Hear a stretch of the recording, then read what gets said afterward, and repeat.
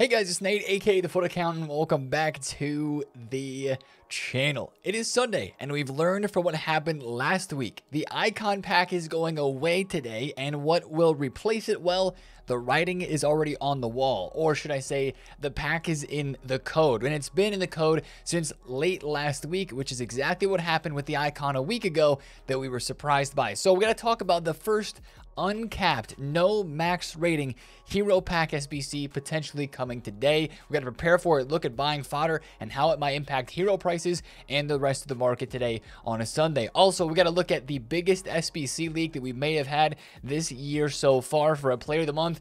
I don't know if it's coming today, maybe tomorrow, but in the next couple of days, maybe that high rated fodder is finally going to move. We're going to talk a lot about fodder today, guys. So if you're excited for it, drop a thumbs up and subscribe if you're new. Now, before we talk about all that, we got to go to yesterday's content on Saturday, which actually had a couple of decent things about it. Firstly, we got to take a look at this brand new Evo, which is called Incisive Deep Lying Playmaker, which, as you could maybe guess, it gives Incisive Pass playstyle and also Deep Lying Playmaker Plus. Not Plus Plus, but it gives at least a plus version of that, as well as First Touch and a sizable upgrade, but once again, limited by the stat limits. I think this is a good Evo. It creates, again, good cards. If you take a look at some of the players you can put in this, this Caw-Caré, you know, he's almost Hullet Gang besides the shooting. It's not bad. The thing that I'm noticing about this Evo straight away is, yes, it's a decent upgrade. It's pretty easy to do, but the overall is the issue. I think evoing a 78 like this Sao card up to an 85 when most of his stats are 81, 82, 83.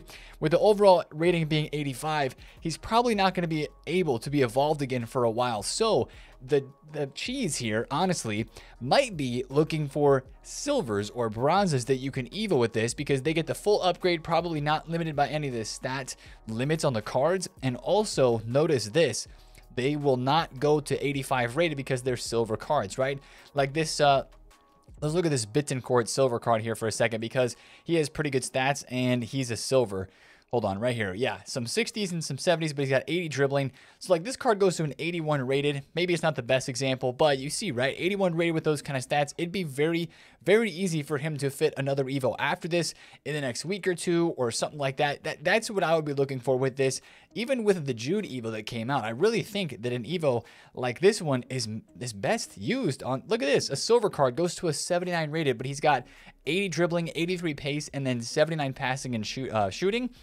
That's not bad. You're adding more playstyles through this Evo to a silver card or to a bronze, and then you're giving yourself opportunities to evolve in the future. Some people are able to be double evolved, like this Casado card from um, Barca. A lot of people are doing this. This card's like 5K. So you do have some uh, bronzes and silvers, and even some gold non-rares like Menu that are pretty popular in this one and they're up on the market. So of course, if you want to take the cash on those, look out for that. But this one for me is just a kind of like a passion Evo. Find somebody from your favorite club, you know, add a player to that, Evo somebody up through a chain using that one. There's nothing right now that makes you want to do that Evo. Maybe wait for a chain for it as well. So that's my thoughts on that Evo.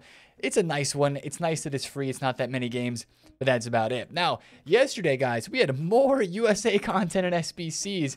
I tweeted out yesterday after this was dropped. I was like, yo, it seems like EA um, is based in the USA, not Canada. We've had so many American cards start off the year, which for an American is really cool. And this SBC, I think, is solid as well, but I think most people won't be super interested in it unless you're trying to link USA cards together. The links are going to be the toughest part. Although, if you take a look at this season, there are some Leon cards and some D1 Arkema cards there where you could link this Lindsey Horan. She's got a lot of really good play styles, though. A lot of really good play styles. She has Playmaker Plus Plus as a center mid. Also Shadow Striker uh, plus and Playmaker plus as a cam. She's four star, four star. And the stats, guys, you look into the fine details 93 long pass, 92 short pass with 90 reactions, ball control, 95 jumping, 92 heading, 88 stamina. This is a really, really good card. And it's just going to be tough to link, which is why probably not that many people are going to do it. EA once again went with the quantity over the higher ratedness of the SBCs. We've got multiple 82 squads, multiple 83, and then couple 84. So it's seven squads, and it looks kind of annoying in that regard. Only 161,000 coins.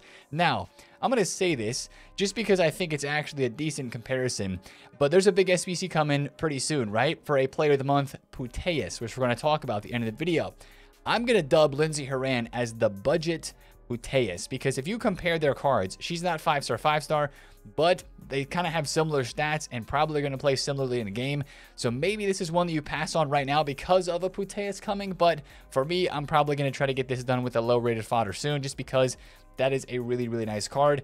And it's going to be you know, hard to link. That's why most people won't do it. Anyways, let's go to the other SBC. We, I guess we weren't done with squad foundations. The Turkish League. Yes, we didn't have that yet. This is a pretty cheap Yilmaz here. Really interesting positions that he can play. Right mid, left mid, right wing, and then left back. And he also has um, inside forward plus plus. Interesting card, but pretty cheap for sure. The pace is nice. The most interesting thing about the Turkish League foundations is the objective with the Gedson Fernandes, which is a really solid looking card.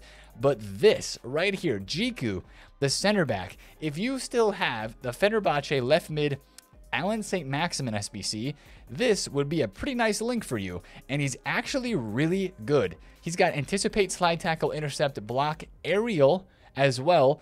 That's a really good card. And you look at some of the individual stats that he has here. He's got 85, you know, 91 jumping and kind of the mid 80s defending before a shadow or for an anchor. His short pass and long pass is not bad either. And he's got stopper plus plus, defender, a ball playing defender plus. So that's actually not a bad card. He doesn't have a playstyle plus, so he could be evolved probably pretty soon too. So if you're running any ASM links there, Fenerbahce links right there for that Djiku card. Maybe worth completing in squad battles this week as you're getting those things done. So, not a crazy day in terms of content for sure. One thing I do want to mention though, and actually claim, is the FC Pro stuff. Because if you're able to watch the stream yesterday, uh, if you watch for an hour, you got the 250 SP, and you also got the Prime Gold Players Pack Untradeable. You can do this again today for day two, and of course, watching again, again today for an hour will get you another Prime Gold Players Pack, another 250 season points, and of course the group reward, which is a 100k pack, and that one will be very nice to open. We'll open this one right here.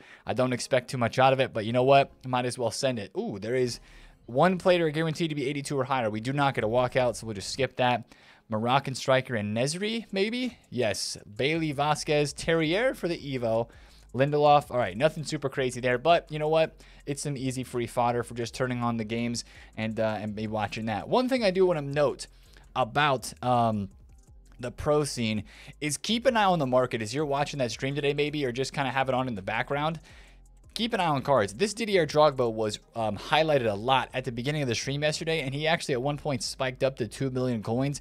I don't know if he ever sold there, but players that the pros are using and the formations and the tactics definitely gets a lot of hype on those streams like that. So something to kind of keep note of. There will be prices that move as players get talked about. Now, speaking of prices that moved, Yesterday, we had a couple pretty crazy price, uh, price spikes with the Trailblazers team number two, especially this Marmoush.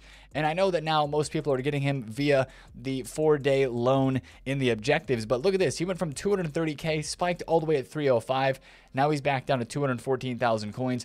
Um, that was kind of the craziest movement on the market yesterday. It was a really quiet day. Ousmane Dembele and some of these other cards had good fluctuations, like down and then bounce backs up if you time this right. Ousmane's down bad again, 1.17. We do have squad battle rewards supply today, so I'd be very careful buying these players, especially on the middle to low tier. I don't even want to know how cheap Grimaldo is going to get. 35k for this is wild. That's an insane car for 35k. Anyway, then on the other side of things, you have this Trinity Rodman who's still a million coins, which seems very expensive. Same thing Luis Diaz being 730,000 coins for him as well. I think even Bremer had a crazy spike yesterday. He's 600,000 coins right now. Yeah, he had a crazy spike up to like 700,000, which is nuts. So I would expect these to drop though today, especially with the hero pack that is upcoming. I think people may be selling a few things to get some coins ready to get involved in that hero pack. So that's one thing I wanted to mention, but the market was pretty quiet other than that. I had a couple of trades and a couple of flips, but not a, not a lot else going on. I did take the coins on some cards that I just were feeling like weren't moving that well. I picked up Gabriel for 320, sold him for 359, um, flipped another Barcola. He's a good one to trade. Flipped a couple of Georges from 220 to 240, small profits, but it's there. And then I also sold the Hemp uh, that I had purchased at 36k, sold her for 46,000 coins. I also flipped the Ramirez. Uh, this was bought at 960, so it wasn't a lot of profit, it was a little bit. The stuff that I'm struggling with right now are the Lizarazus actually, because with the hero pack coming today and his price not really doing well at the moment, it's looking like I might just have to take a bit of a loss on him. There wasn't as much demand for Musiala, and the French links, I mean, they're still good, um, and they're still very hyped, but it doesn't seem to be as hyped as maybe we originally thought or hoped that it would be. I'm also looking at some Trents right now for a quick flip because he's kind of low. His card is one that just bounces so good all the time. Same thing with his Barcola. I love picking him up at like 400k and then selling him at like 440. I mean, he's kind of going up right now, but that's just something that I keep an eye on all the time. So we'll see if we get some like, quick flips on out of packs cards today. That'd be the place. If you're going to trade, to be looking, heroes and icons would fall into that as well. Now let's talk about Sunday content and this base hero pack, guys, because this is the pack code that we're talking about. And remember, last week we saw the max 88 icon was added to the code like on Thursday, and then it was dropped on Sunday, and we were kind of like, oh, dip. That's crazy. EA switching from the Wednesday hero and icon packs to the Sunday, I guess. And it looks like we're going to start continuing on that trend because the icon goes away today and this one's here in the code. So it would be one base hero player item. There was some jokes um, earlier in the week when this was released like, Nate, is he going to do the 25k hero pack in the store and crash the market again on purpose? No, this is not that. Hopefully, if they do that again, That'd be ridiculous. But we expect it to be released as an SBC pack today, again, as we learned from last week. Now, what is even added? See, this is the first uncapped one, so there's no max 88, no max 87. So what cards are even added in? Well, Ginola is the biggest one, Lucio is the second biggest, and then also Abedi Pele and Rudi Voller, and a couple other fodder cards like Sausage, the new women's hero, has been added to the game as well. So it's not adding in a whole lot of heroes. It's just kind of opening up some of those top tier cards and some of the middle tier and even some fodder ones as well. But the fact that Ginola is packable in it, of course, we'll all be dreaming of packing him today. Also, with more cards in it and all the heroes in it now, how much is this going to look like price wise? Well, the max 88, which we just saw, was 200,000 coins to complete. It was an 84, 85, and an 86. But if we remember, all they added from the max 87 to the max 88 was just the 84 squad, I believe. Or, yeah, I think it was just the 84 squad. So how much are they going to increase the price for having all of the heroes packable from an SBC like this? That was something that I was trying to ponder and to think about with like, they made the max 88 cheaper than we kind of thought it was. So is this one going to end up being a little bit more expensive? And are we going to be bummed at how expensive it is? My guess for this one today is maybe maybe they make it an 85, 85, 86 Maybe it's two 85s, to an 84 and an 86. I don't know. I don't think it'll be more than 300,000 coins because this one was 200,000 with these three squads right here. So I'm hoping that it's not too much more than that. But of course, when we talk about the price of this SBC and a hero pack, we look at fodder, right? Is it time to invest? I think it is, especially if you want to get in on fodder this week. I think you got to buy with squad battle rewards. That's going to be the time where everybody's looking to buy today. You've even seen some of these 85s are starting to go up. They're right around 6K. They were down at content yesterday at about 5.5, 5.6 even a little bit below that on bid for the 85 specifically. I think you're looking for a dip like that today with squad battle rewards to get in on these cards. But I would imagine after rewards hits, these are going to start climbing into content as everybody's going to be talking about the hero packs coming today. Get invested, buy fodder because fodder did so good last week as an investment. Everybody remembers that. Well, the difference this week is we don't have a hero pack and an icon pack out at the same time. So, yes, fodder still could do good. It still could, honestly. But at the same time, you know, it's really you're investing for the hero pack today, and then whatever SBCs would come out rest, throughout the rest of the week, which there still should be some. So I think fodder is probably the best investment right now. But do I expect the 85s to go all the way to like what were they were what were they last week? Eight point yeah, 8.5k at their peak on Tuesday. I don't know if I expect them to go this high. Could I see them going to maybe 7K, six highs? I think that's more realistic. 86 is maybe up a thousand, 87's up a thousand, maybe 2,000. And then the 88's like they're up already. They're still 19,000 coins. With the icon pack going away, I could actually see 88s maybe going down a little today. Uh, but that might happen after the icon pack. But then again, you have Putellas who's leaked, and that's even an opportunity today to get in on some of that top tier, maybe 88s, 9s, 90s, and 91s. If EA will not release low rated squads for her, and make it high rated ones. So I think today is your day for fodder. I think you got to get in during the squad battle rewards uh, supply of it though. Again, the only issue for me right now with 84s and up in terms of the fodder rating that we would be looking to invest in is that there's just going to be a lot of people looking to buy today for sure. Like 100%. 5.5K, you can't turn that down. Like that's a great price for an 85. I guess I'm investing in 185 Khvicha right now, but like that's kind of what you're looking for on bids and on snipes. But after rivals today, sorry, squad battles, everybody is going to be on that, and you're going to have a lot of competition for fodder. But SBCs, kind of have been a bit better with the icon packs and the hero packs getting better. So I do expect that part of the market to rise. So that's kind of what I'm looking at there. Now let's talk about how is it going to impact with the hero prices, right? I mentioned my Lizarazus that I have. We'll just use him as an example right now. I would imagine, as per usual, that there's going to be a little bit of panic selling on heroes today. Maybe not a crazy amount. As you can see right now, he's about still 290 where we bought him at. 298, 300 is right where I got him. So maybe taking a bit of a tax loss here on three of them. That'd be like 45K, which we made back from yesterday's trades, uh, even just trading a little bit on the market for sure. So we've overcome that. But I would imagine we see some dips on these cards. But of course, if it's a higher rated card, like if people are selling Abedi Pele or Voller today because they're like, oh my gosh, he's in the icon pack, man. He's going to get packed. He's not. You should buy him if he gets really, really low. Same thing with Matuidi, Cordoba, the usual, right? If there's any of these middle to top tier heroes that get sold off a lot, buy them. They'll probably rebound post hero pack as people are like, oh, I didn't pack the one that I wanted. Maybe they see other people packing those cards and they get some game time on streams or something like that, and then they just get more hyped and, and they kind of re- rebound back up to where they were before. Uh, so watch for you know sizable dips, but also sizable dips on cards that are rare that people might actually want to go and use. Now the lower tier of cards here, you know maybe like 88s. Beasley 85 stuff that's like 50k like Carragher. This stuff probably drops today doesn't rebound up very much unless it's somebody who's very in demand at the moment, maybe like Julie or maybe yeah, like Tim Howard. Tim Howard always has a good demand. 115, I don't know. This guy always gets undercut and he's good to trade with. One of the best lower budget heroes to trade with in this game. I'll be completely honest. Tim Howard, good goalkeeper as well. And I wouldn't say that he's really inflated right now because of the links to the new Lindsey Horan. Is this 115 still sitting there? Ah, it's not. He's good to trade with, man. But that's the type of card that if it bounces, if it goes down today, maybe you could pick him up.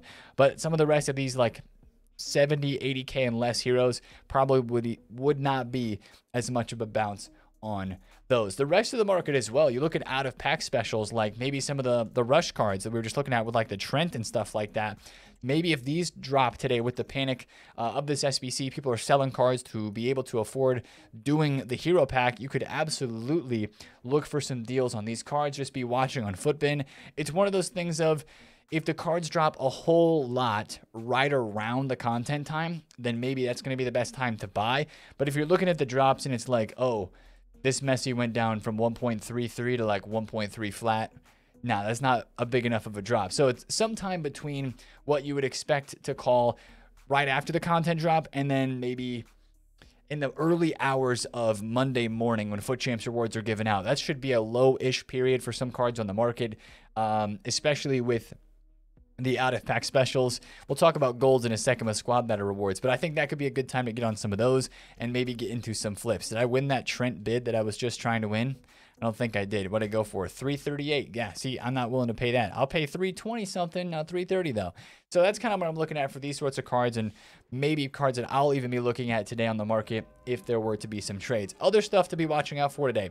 Um, more fodder investment opportunity for the 84s because Yo, these timers, I'm going to mention this first. The timers on this game, this is the party bag, right? The RTTK Total Rush upgrade. It says one day, 11 hours for me right now on console. If I go on the web app, it's refreshing today because the timers on the web app actually work correctly.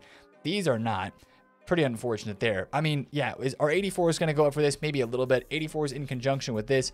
And the uh, hero pack that's where you could see some movement there also a team of the week requirement this is a really fun pack to do every single time i'm glad it's refreshing again today for the third time because it is really cheap and really fun and i actually got julian brandt from the last one so that was kind of worth it. So that's refreshing again today. So watch out for that one. Also, it's weekend, right? Weekend means SBC content for players and also Evos. I would not be surprised if we had a new Evo today maybe a new paid Evo because the Guti Evo is going to uh, expire in, in, terms of unlocking the player inside of it. And right now we have Bag of Tricks and Brilliant, Brilliant Bomb Pastor as the two Evos that are paid. Maybe we have another paid one coming in today, which could mean it's a good upgrade. So watch out for a new Evo. And then player SBC, like I mentioned, we still have the Ballon d'Or card design. It's in the code. I'm going to mention that until we get it. I want to see that card, man.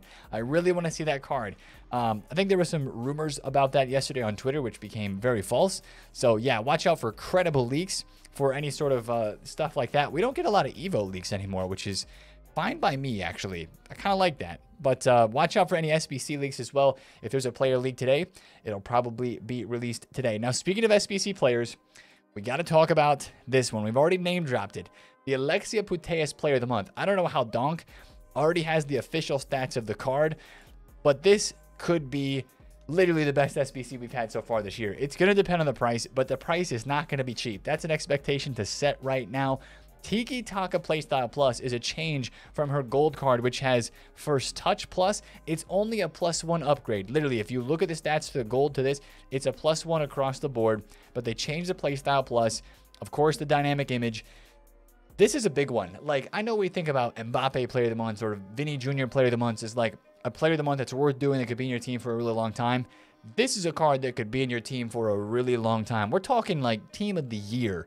This could be in your team until then, and that's in January, right? So I think this SBC is very much worth considering.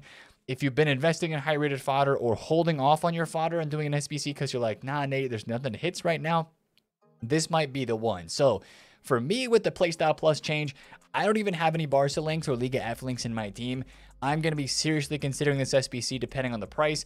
I think the most likely date of this SBC releasing would be Monday, but that's only because the Ajibade SBC was released on a Monday about a month ago. So that's kind of our expected release date. Could this be today? It could. Sometimes they overlap by a day or two, but we'll be looking to today or Monday to see a Putellas player of the month. I don't know, guys. You let me know down in the comments, but this this is a midfielder that everybody chases each year. I didn't really use Putellas last year, and that's kind of tempting me to maybe commit to this SBC this year. I mean, the playstyle is five star, five star in the midfield. You can't get any better than that. Pinged pass, incisive, tiki taka, finesse, flair, first touch, technical, Insane card. Absolutely incredible card. You look at the individual stats, the dribbling looks nuts. Um, passing, shooting, just an all around great card. And you've got Role Plus Plus as a Playmaker CM, which is, I think, where a lot of people would use her. And then you got Shadow Striker on her card as well. So, I mean, wow, that this could be big, guys. This could really be big. So we'll be looking into that one maybe a little more tomorrow if it's not out, maybe in terms of a price and how it's going to impact the market. But I would say since today is the day to watch out for market movements with fodder, Today's probably that day to get on the 89s and above if you'd like to get involved in some more of that. Now let's talk about market a little bit with squad battle rewards. I know that's probably going to be happening by the time some of you are watching this video. Also today is US time change or America time change. Clocks falling back. So I know that doesn't impact most of the rest of the world, but it will impact us that have been in the States, and content's been an hour later this past week because of time change uh, across the pond. That's also going to be affecting us today. So we will have time change or content time back to normal. I'm looking at this Koundé card, who I sold on Thursday. How much was he on Thursday? Yeah, at 86k. No, no, right here. He went down 75k, back up to 83, 80, and then 88 on Friday morning. Bro is 53k. Golds are in the mud. But if you want to look at gold cards today, they're probably going to drop. Oh my gosh, Sonny too, man. Sonny was 190 yesterday. He's 167 right now definitely watch gold cards because with how much they're down even from yesterday, maybe they dip with squad battle rewards and have a little bit of a rise from there. But this would be prime time for a drop heading into the weekend like we do see every week. Last week, Sonny on Saturday dropped a lot, just like we saw right now. And he went up a little bit on Sunday, then Rivals Rewards, boom, straight back down. We had the icon pack. That created a lot of market sell off. He got very low in the early Monday morning hours. He went down to 170. And then what does he go to by the next midweek? He's back up to 195. So that's a nice 20k rise there from 170 to 195, 25,000 coin rise.